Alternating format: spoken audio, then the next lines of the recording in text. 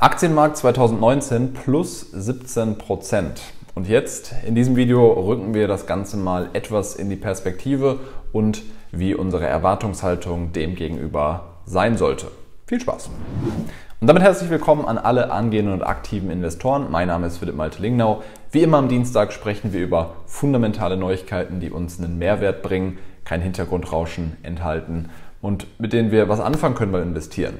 Und heute schauen wir uns mal das bisherige Börsenjahr etwas genauer an. Werfen wir mal einen Blick darauf auf die abgeschlossenen Monate, die bisher stattgefunden haben. Und da sehen wir, wenn wir den Februar eingeschlossen nehmen, dass wir zwischen 17 und hier ja, 11,5 Prozent sind. Das ist einmal hier der Mittelstand aus Amerika und das ist hier einmal der SP 500. Wir sehen aber auch, dass ähm, andere Märkte, also ist jetzt hier vor allem eine Betrachtung im amerikanischen, sehr stark gelaufen sind. Und im Prinzip sind drei Themen, die ich daraus jetzt einmal ableite. Zum einen, wie schnell wird eigentlich 2018 vergessen, zumindest mein Eindruck. Auf was müssen wir uns emotional vorbereiten? Und zum Dritten, was sind realistische Erwartungshaltungen dem restlichen Jahr jetzt gegenüber, wenn wir einfach aus der Historie lernen wollen? Beginnen wir direkt mit dem ersten und zwar, wie schnell eigentlich 2018 vergessen wird. Ich habe hier mal den SP 500 aufgemacht und wir sehen, dass wir natürlich im letzten Jahr seit Oktober eine extrem scharfe Bewegung nach unten hatten und wir jetzt einfach fast auf den Tag genau hier in 2019 natürlich übergegangen sind und ähm, das Ganze einfach eine Gegenbewegung jetzt nach oben erstmal dargestellt hat.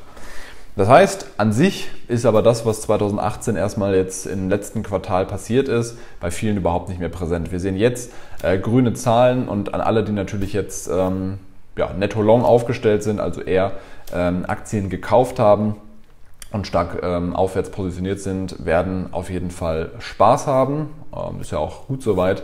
Und ähm, ja, werden einfach davon profitiert haben, von dieser Gegenbewegung. So, das heißt, es ist positive Stimmung erstmal an den Märkten da, auch wenn das Volumen oder der, der Index jetzt erst ein bisschen träger wurde in den letzten Tagen, aber erstmal die Gewinne wieder zurückgelaufen. So, Emotional ist also die Frage, worauf müssen wir uns da vorbereiten? Was sind realistische Annahmen für das restliche Jahr?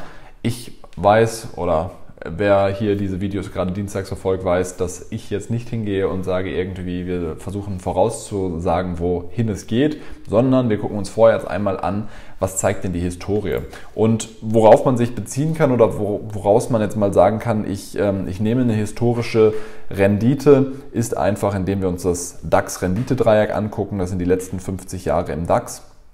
Ich habe leider was Passendes für ähm, den SP nicht gefunden, deswegen nehmen wir jetzt hier den DAX und wir sehen, dass wir gerade im langfristigen Mittel irgendwo zwischen, ja, sagen wir mal, 6 bis 8 Prozent, 7, 9, äh, mal solche Jahre, mal solche Jahre liegen. Und das ist ja einfach die Einordnung, wenn wir uns jetzt nur einen Index betrachten, so einen sehr breit diversifizierten, auf worauf wir uns einstellen dass wir ungefähr Bereiche haben, in denen das Ganze liegen könnte. Wenn wir jetzt so eine sehr starke Bewegung ähm, schon hatten, ist die Frage, geht das Ganze jetzt überhaupt so weiter? Haben wir ein extrem positives Ja, was noch viel Platz nach oben ähm, bietet? Und aus der Historie heraus ist es eher, dass das Chancen-Risiko-Verhältnis nicht auf der Oberseite liegt, von dem, was wir sehen, sondern ich meine, es kann genauso passieren, dass wir jetzt einfach gerade ein bisschen laufen, wir aber uns emotional, da kommen wir zum dritten Thema, darauf einstellen sollten, dass es nicht immer unbedingt so positiv weitergehen wird. Und wenn man sich damit einmal vertraut macht, dann hat man einen extrem großen Vorteil, weil man für sich mental in gewissem Maße sich schon darauf einstellt, dass es nicht immer so weiterlaufen wird. Denn wenn es dann mal kracht und man eigentlich nur dachte, hey,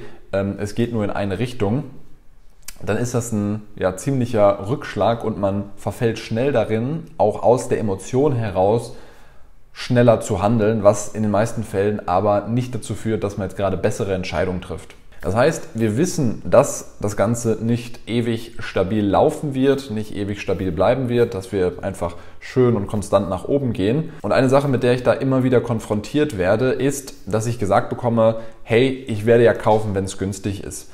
Das Problem ist, es ist ganz schwer einzuordnen, wenn wir gerade emotional sind, die Kurse fallen, einzuordnen, wann ist es denn günstig.